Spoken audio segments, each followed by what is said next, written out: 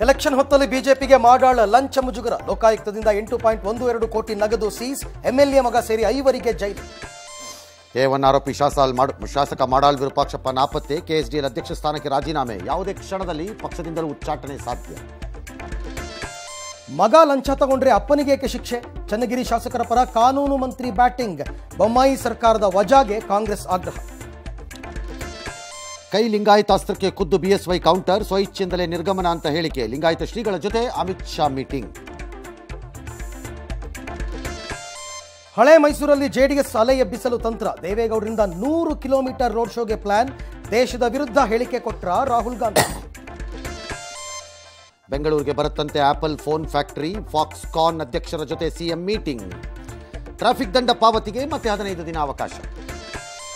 ದ್ವಿತೀಯ ಪಿಯು ಪರೀಕ್ಷೆಯಲ್ಲಿ ಹಿಜಬ್ ಗಿಲ್ಲ ಅವಕಾಶ. ಉಕ್ರೇನ್ ಮೇಲೆ ಆತ್ಮಾಹುತಿ ದಾಳಿ ನಡೆಸುತ್ತಾ ರಷ್ಯಾ ಅಹಮದಾಬಾದ್ ಟೆಸ್ಟ್ಗೆ ಸಾಕ್ಷಿಯಾಗ್ತಾರಾ ಮೋದಿ.